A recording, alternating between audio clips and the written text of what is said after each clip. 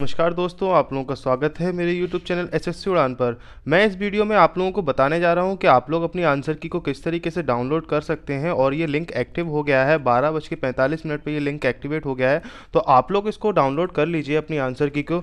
सबसे पहले जब आप गूगल खोलेंगे तो उसमें क्या डालेंगे? Allahabad high court dot in. ठीक है, आपने जब यहाँ पर इलाहाबाद हाईकोर्ट डॉट इन डाला तो इलाहाबाद हाईकोर्ट की यहाँ पर वेबसाइट खुलकर आ जाएगी।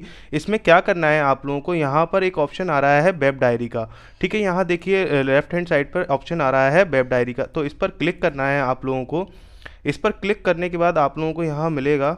ये थोड़ा सा कनेक्टिविटी स्लो हो गई है तो आप लोग जब इस पर क्लिक करेंगे तो यहाँ पर तीन ऑप्शन मिलेंगे।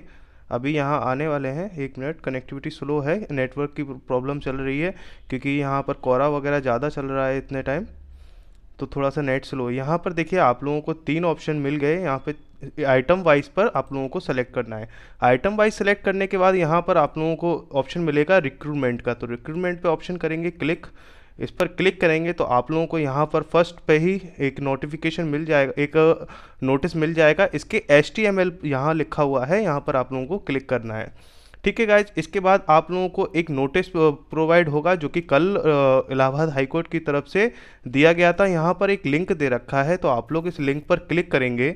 उसके बाद आप लोगों को एक नई वेबसाइट खुल के आएगी I register dot C O dot in ठीक है, इसके बाद आप लोगों को क्या करना है sign in for existing user पर क्लिक करना है।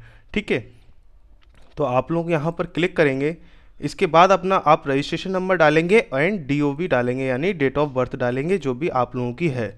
ठीक है गाइस ये इस तरीके से आप लोग अपने रिज़ल्ट को डाउनलोड कर सकते हैं।